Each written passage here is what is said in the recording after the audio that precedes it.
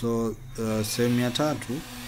Sasa hapa hii- sehemu ndo tuliishia lakini hapa ni ngumu mimi kuendelea kwa sababu uh, vitu vya kujaza hivi vitu vya kujaza hapa chini kama hii namba kama ushaijaza it means lazima uwe na namba nyingine okay? Okay so nitaelekeza tu haraka haraka okay? So baada ya kumejaza hivyo vitu maana yake because huwezi ukaenda step nyingine kabla hujamaliza the previous step. Kwa hiyo lazima ujaze huku nyuma unakuwa unaenda unapanda hivyo hivyo mpaka hizi step nne zote umalize. Sasa step ambayo ilikuwa inafuata ukishajaza tu hapo utabonyeza next huku mwisho. Nimeelekeza jinsi ya kupata postal code. Na nimetoa mfano wa hii postal code ambayo ni ya Dar es Salaam. Unaweza pia ukapata postal code zote hapa Dodoma ukiklik tu hivi itakuja. Okay hii hapa okay?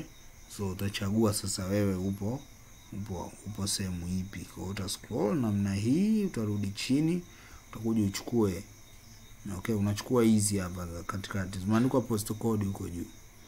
So hapa utakuja kwenye kuadd money. Kwenye kuadd money ili uweze kuadd money lazima uadd visa account okay? Account ya visa. Na kushauri utumie visa kwa sababu visa visa iko friendly zaidi. Ina masharti machache zaidi ya ya mastercard. Okay?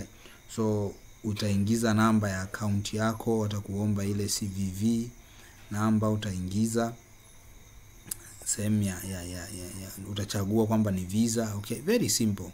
Baada ya kuwa umechagua hiyo account make sure ina pesa. Uh, ukihitaji ku add money sasa maana yake ndo uta utatoa pesa kutoka kwenye visa itakuja kwenye skrill yako. Kisha ingia kwenye siku ile watakonfirm kwamba imeingia kuna makato yake. Okay makato ni- makato yake sio makubwa sana makato ni madogo tu. Then ukishaweka kwenye screen then hii ya mwisho ready to send. Hapo sasa ukihitaji kwa mfano kumtumia mtu kunakuwa na option tu ya ku send money. Very simple okay?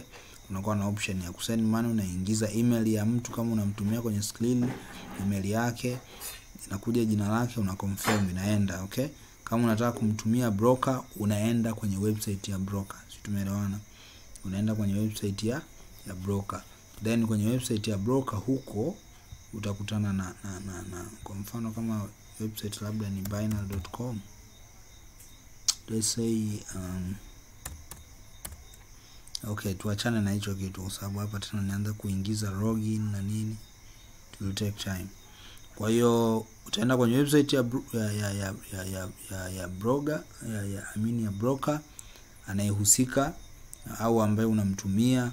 Ukienda utaenda kwenye sehemu za, za, za deposit na withdraw. Kama ni deposit utaenda utachagua skrill. Baada ya kuwa umechagua skrill uh, utaingiza sasa data zako za skrill okay? Ukishaingiza data zako za skrill utaombwa pini ya skrill ambayo itakuwa inatumwa kwenye kwenye namba ya simu ambayo umeijaza hapa chini. Okay? Kwa lazima uwe makini. Hii namba ya simu unayoijaza hapa ni very important. Huwezi ukaingia bila pin. Tumeelewana mpaka hapo? Kwa hiyo hiyo pin itatu uh, I mean, kuna some pins ambazo zitatumwa kuverify si, namba yako ya simu. Alafu wewe utakuja uombe kuingiza pin baada ya kume download especially ile application ya Skrill. Kwa hiyo kila ukitaka kuingia through application ya Skrill utakuwa unaombwa pin ambayo utakuwa unajaza ndo unaingia. Bila hiyo pin huwezi uka login. Na hawa jamaa wako very very wako makini sana. Kukufungia account ni dakika zero tu. Kufungia account ni dakika zero. Yaani faster sana kufungiwa account. Kwa hiyo lazima uwe, uwe very careful. Lakini pia kwa wale ambao wanafanya transactions nyingi per day afu unafanya na watu tofauti na kushauri usifanye hivyo sababu walinifungia account kwa sababu ya hicho kitu kwa hiyo wewe kama una, una umefungua akaunti yako kwa ajili ya broker fanya kazi na huyo broker. Usianze tena kutumatuma everywhere. Maybe maybe watu watano kumi sio watu thelathini na kuendelea per day okay? Yeah kwa hiyo hiyo ni njia rahisi zaidi ya kufungua akaunti. bila shaka nimeeleweka